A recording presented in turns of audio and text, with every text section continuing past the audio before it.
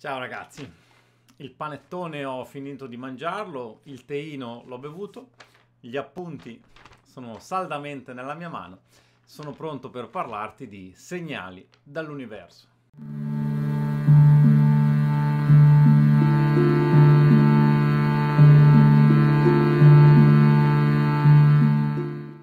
Segnali dall'universo inteso non come eh, segnali captati con qualche strana antenna tecnologica da Marte, Nibiru o, o da dove volete voi, ma significano tutte quelle informazioni, tutte quelle indicazioni che il cosiddetto universo eh, ci fornisce costantemente.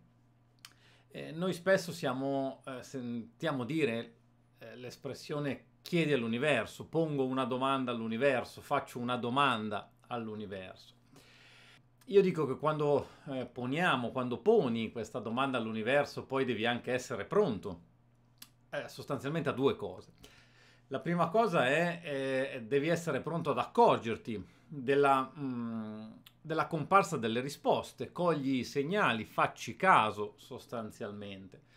Nel senso che magari eh, non è che non fai la domanda o che non fai la domanda nel maniera, nella maniera corretta, è semplicemente che poi non ti accorgi delle indicazioni, delle risposte che l'universo ti fornisce. Eh, fa, facci caso, eh, unisci i puntini, accorgiti delle cose che ti succedono quotidianamente.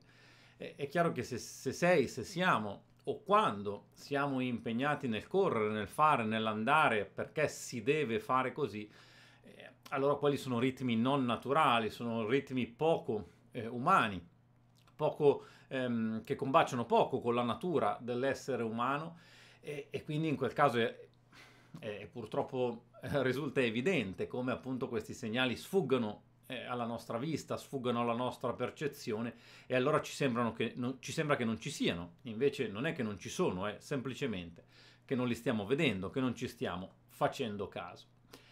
L'altra eh, cosa che bisogna essere pronti a fare una volta posta la domanda all'universo è essere disposti, essere ben eh, disposti ad accettare la risposta, qualunque tipo di risposta, eh, non la risposta che noi ci aspettavamo, non la risposta che noi volevamo, ma la risposta che ci arriva innanzitutto.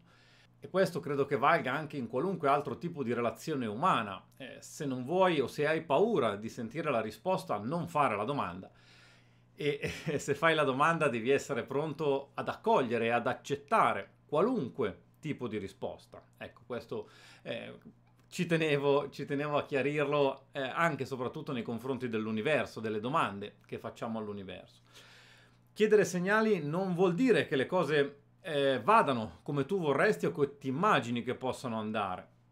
Eh, fai la domanda e mantieni la mente aperta a qualunque risposta, a qualunque tipo di risposta sia che sia vicina a quella che tu ti aspettavi, sia che sia completamente lontana da quella che tu ti potevi aspettare, che ti eh, potevi immaginare. Eh, prima di fare la domanda assicurati di essere pronto ad accogliere ed accettare qualunque risposta, altrimenti, appunto, come detto, non fare nemmeno la domanda se non sei eh, pronto ad accettare poi la risposta. A volte se non cogli i segnali succede poco o non succede nulla, nel senso che magari non trovi la risposta, eh, non, non, trovi la via, sei un attimino appunto eh, smarrito, come fossi sostanzialmente senza un GPS in una città che non conosci, però riesci lo stesso a muoverti, magari non nella direzione eh, ottimale, non nella direzione eh, più effic- efficiente possibile, però in un qualche modo ti muovi. Altre volte però quando invece non riesci a eh, trovare la tua via e l'universo sta facendo di tutto per fartela trovare, per metterti davanti le indicazioni il più chiare e il più precise possibili, allora a quel punto l'universo è costretto ad alzare la voce per farsi accorgere. È un po' come succede con il corpo umano quando non rispettiamo il corpo umano, quando ci sussurra le sue indicazioni per farlo stare bene, lui è costretto ad alzare la voce per farsi sentire e allora sarà in quel momento lì che prenderemo dentro nel mobile piuttosto che inciamperemo nel marciapiede o prenderemo un raffreddore. La stessa cosa succede in macro, eh, nel senso che se non siamo bravi a cogliere i micro segnali che l'universo ci manda, è costretto ad aumentare, ad alzare il tono di queste, di queste indicazioni. Per esempio, anche io stesso, un episodio che ho già raccontato altre volte, lo, lo riassumo brevemente, anche io stesso non avevo evidentemente colto dei segnali e quindi eh, in una maniera assolutamente rocambolesca mi è caduto sul piede un, un disco da palestra da, da 10 kg, da circa un metro e mezzo, forse qualcosa di più, eh, mi è caduto dritto dritto sull'alluce e costringendomi naturalmente a fermarmi, a fare delle riflessioni e soprattutto a imboccare eh, quella strada che eh, l'universo mi stava in maniera più delicata suggerendo in, uh, in precedenza. Eh, avevo postato su Instagram qualche tempo fa eh, di, di, cogliere i segnali prima che questi diventino troppo grandi. Eh, se impariamo a cogliere le ghiande prima che diventino querce, probabilmente non ci cadrà una pigna in testa. E nel momento della difficoltà, secondo me il modo migliore, l'atteggiamento migliore per affr- affrontare una difficoltà oggettiva, nel senso che eh, le difficoltà sono delle cose oggettive che poi sicuramente vengono amplificate in maniera soggettiva.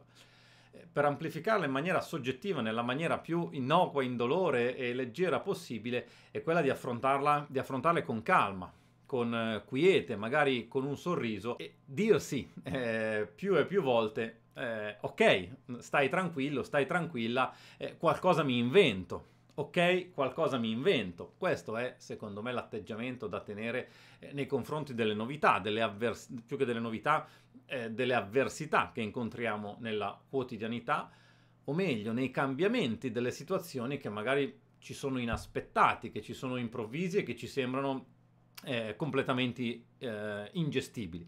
Eh, ok, qualcosa mi invento, piuttosto che oddio, adesso che cosa faccio? Eh, capiamo che la difficoltà, il problema eh, rimane ed è assolutamente lì nella stessa ma- maniera, in maniera oggettiva, appunto, ma eh, il mio atteggiamento, quindi la mia soggettività cambia eh, come il, il, modo di affrontare questa, questo cambiamento. E questo l'approccio, secondo me. Se cambiano le regole o ti inventi qualcosa, quindi o ti adatti o ok mi invento qualcosa, o altrimenti esci dal gioco. N- non hai grosse altre alternative, sinceramente, nel senso che o ti adegui al cambiamento oppure smetti di giocare. Eh, per eh, adattarsi però al cambiamento, secondo me è fondamentale conoscere bene le regole e poi inventare qualcosa. Bisogna conoscere bene la tecnica per poi poter creare eh, sostanzialmente potremmo dire che l'improvvisazione non si improvvisa affatto, sostanzialmente. Eh, anzi, secondo me, eh, per arrivare a, eh, ad essere sicuri di quel ok, qualcosa mi invento, eh, com- non è fondamentale, però secondo me conviene e facilita molto la faccenda partire da una base solida. E la base solida in che, co- in che cosa consiste? Queste solide fondamenta, secondo me, eh, sono eh, la fiducia in se stessi, quindi la fiducia in te stesso, la fiducia nelle tue capacità e queste due cose afferiscono chiaramente all'autostima.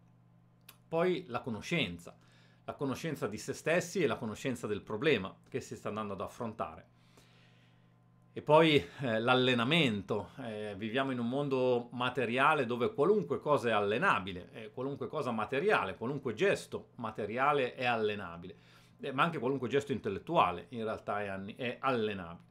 E quindi allenarsi alla fiducia in se stessi, alla conoscenza delle tue capacità con pazienza e con costanza. Eh, è chiaro che se io eh, provo a camminare sulla fune, no, questo forse è un po' complicato. Se io provo a, cammina- a pattinare sul ghiaccio e dopo le prime due cadute mollo il colpo perché, ma sì dai, tanto non ce la faccio, e allora stai pur certo che non ce la farò mai eh, mentre appunto l'allenamento, la pazienza e la costanza danno il risultato. Eh, proviamo a pensare a quando eravamo bambini. Eh, nessuno di noi, credo, eh, è nato che sapeva camminare e poi tutti siamo riusciti a camminare cadendo. Eh, non è che un giorno abbiamo detto ok, da domani cammino e abbiamo iniziato a camminare. Eh, ci siamo allenati, abbiamo provato, abbiamo avuto pazienza, siamo caduti e ci siamo rialzati eh, addirittura senza neanche porci il problema o il dramma, eh, oddio non riuscirò mai a camminare. Credo che a nessuno di noi sia passato per la testa quel problema. Non è passato per la testa perché era una testa eh, eh non condizionata, non c'era quel tipo di condizionamento eh, che tende ad abbassare l'autostima, ma semplicemente lo volevamo fare e semplicemente siamo riusciti a farlo. Eh, l'obiezione che mi potrebbe essere fatta è eh, ma quante cose ci sono da fare?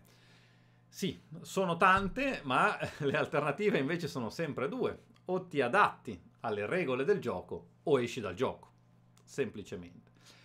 Il gioco in questione eh, non è il pattinaggio o il camminare, ma il gioco in questione è l'esperienza umana sul pianeta Terra, è quella cosa che noi chiamiamo vita. In sanscrito c'è una parola eh, che è lila, eh, lila eh, vuol dire inf- infinito gioco cosmico.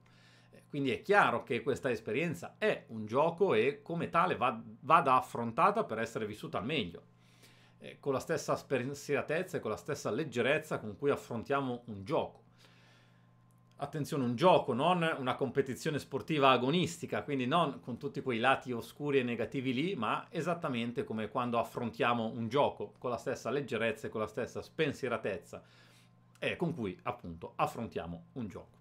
Concludendo, appunto, l'approccio fa la differenza. Avevo fatto qualche video fa una, una recensione forse un po' troppo, avevo commentato, avevo espresso il mio parere eh, sul libro che avevo letto quest'estate di Matthew McConaughey voglio ricitarlo in questa occasione, è proprio ehm, in riferimento all'approccio. Lui ha scritto, se continui a calpestare la cacca, o ti inventi che porta fortuna, o ti impegni al massimo per calpestarne il meno possibile. Questo è l'approccio. Fuori e dentro, il viaggio continua. Namaste.